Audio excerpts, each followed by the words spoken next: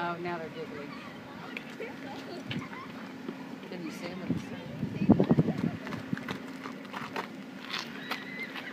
Yay, Mackenzie, come on, let's go play. Yeah, let's go. Yay. Can't play. Miss Lucas, what do I do? Well, it sounds like we have to figure out a way to make the playground accessible for everybody. If they're in crutches or in a wheelchair, we need to figure out a way to make sure that everybody can get to the playground. Let's see what we can do. You guys think that you can work on that?